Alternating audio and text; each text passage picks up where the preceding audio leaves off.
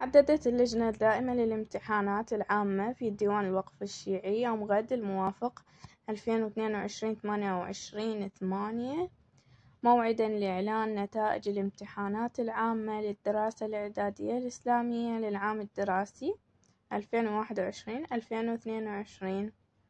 للدور الثاني. أكيد حنكون وياكم في تغطية هذه النتائج النتائج السادس الإعدادي الأدبي والأحيائي.